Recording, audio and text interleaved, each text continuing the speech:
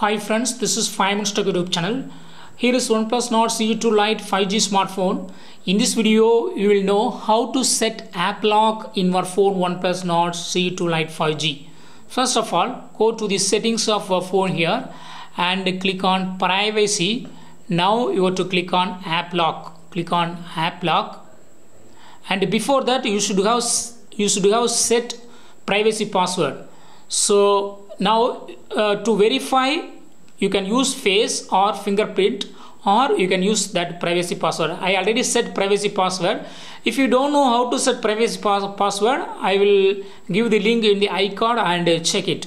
Now i click on use privacy password. I already i set it.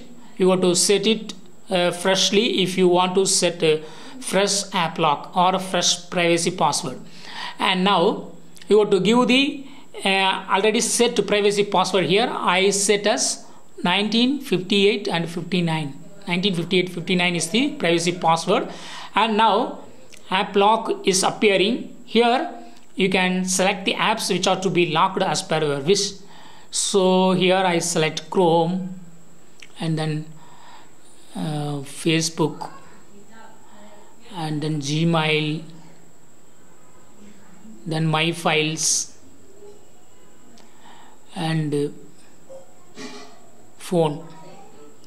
Now i check it. I go to uh, home page and i open facebook. I open facebook and it, it ask it ask for face or fingerprint. So you can already it is locked and you can unlock it with face id or fingerprint or use privacy password. I use privacy password again and click on. I, I got to give the privacy password so I type 1958 59 what you set in privacy password you have to set you have to give give it here then only it will open. Again I open another locked app uh, phone. And with the fingerprint I would like to unlock it. Yes so in this way you can easily set app lock in your phone OnePlus Nord CE2 Lite 5G. That's all friends. Thanks for watching. Bye.